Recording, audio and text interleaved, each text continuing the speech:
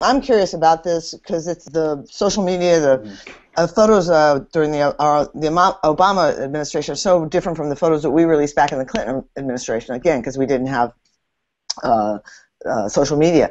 Can you walk us through the, uh, like how they decide which pictures they're going to put out on the feed? you know, is it is it just the you know 10 best moments of the day or what, what's how, how who decides and how, how is it fed fed out there to social media you know, I to how they do it now, of course, because I haven't been there for more than two years. But um, when I was there, we we went about our day. We photographed what was happening that day, and never knew what was going to be released. Sometimes we knew they're likely to release something from this event, you know, particularly if it's a something that's on the the week's agenda, if it's healthcare, you know, you knew you had to file pictures. It, it got quicker and quicker. At the beginning, we we would just get home to the White House and then they would put something up maybe the next day. By the time I left, it was pretty quick. We were filing almost as fast as the press.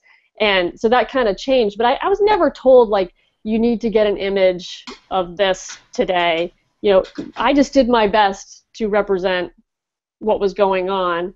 And th- those releases came faster, and um, it was it was. Can, I ask a question? More increasingly. Uh, you mentioned they. Who is they?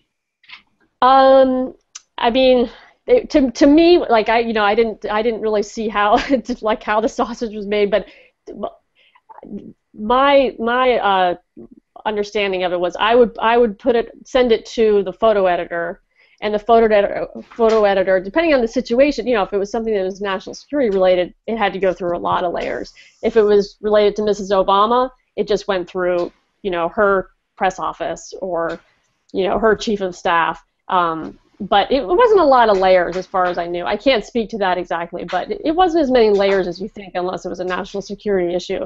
And, and then it definitely went through quite a few.